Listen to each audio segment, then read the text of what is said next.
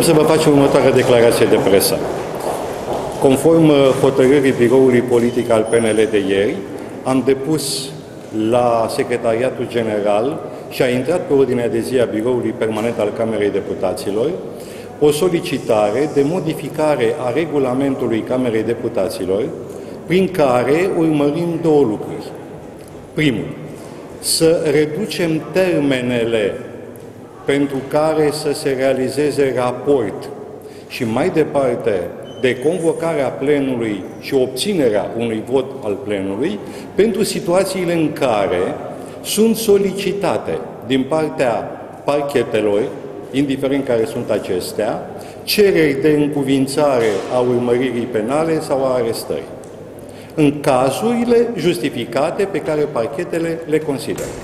Știți foarte bine că astăzi termenele sunt foarte lungi și de multe ori uh, se depășesc uh, din voința majorității.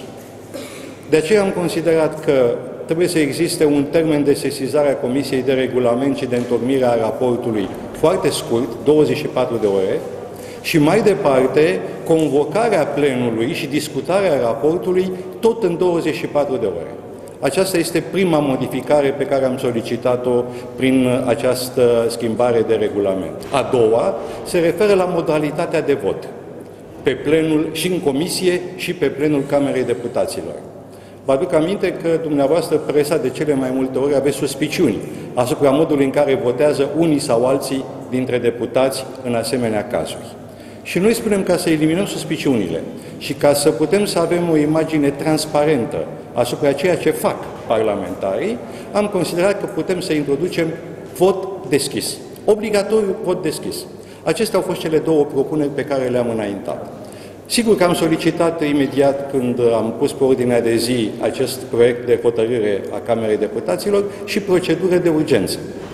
Din păcate, uh, majoritatea PSD și din jurul PSD a fost împotriva procedurii de urgență, a fost chiar împotriva stabilirii unui termen de întocmire a raportului asupra acestei modificări pe care noi am propus-o. În consecință, consider, și am spus-o de la microfonul biroului permanent, că PSD-ul și președintele de ședință, împreună cu membrii biroului permanent care au votat împotrivă, să-și asume public și politic faptul că nu țin cont de dorințele și așteptările cetățenilor.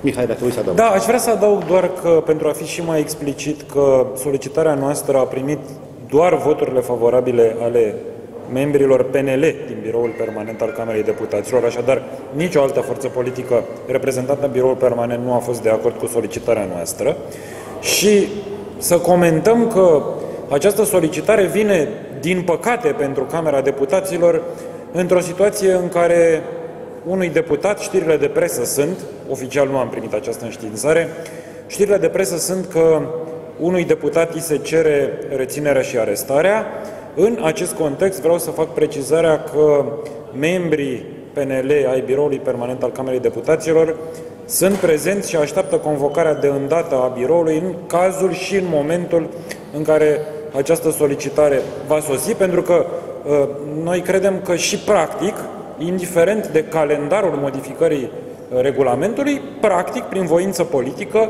putem să dovedim că Uh, suntem capabili să accelerăm aceste termene. O ultimă observație a celor care vor invoca, pentru că un coleg de la UDMR a făcut-o deja, prevederi constituționale cu privire la modalitatea de vot deschis sau secret, pe toți îi invit să lectureze cu atenție Constituția, care nu prevede la niciun articol obligativitatea votului secret, ci doar obligativitatea exprimării unui anumit număr de voturi, indiferent cum se exprimă aceste voturi și este ține de voința Parlamentului în a stabili modalitatea de vot. Credem că în această situație uh, se poate folosi uh, votul deschis. Vă mulțumim și dacă sunt întrebări. Există mai multe, există cel puțin trei exact. modalități de exprimare a votului deschis, oricare dintre acestea votul deschis prin ridicare de mână, votul deschis prin mijloace electronice sau votul deschis prin apel nominal. Oricare dintre aceste variante asigură transparența necesară uh, pentru exprimarea acestui vot. Oricare din aceste trei metode. Proiectul nostru de modificare a regulamentului le include pe toate trei. E ține de președintele de ședință într-o anumită ordine de priorități prevăzută de regulament, începând cu votul electronic, care este, ar trebui să fie, dar iată, noi nu-l mai Să fie folosim de baza ceva vreme, votului. Uh, și- sau votul prin apel nominal la solicitarea unuia dintre liderii de grup prin aprobarea plenului. Dar oricare dintre metode, res- uh, repet, asigură transparența necesară pe care noi ne-o dorim. Mulțumim! Mulțumim mult!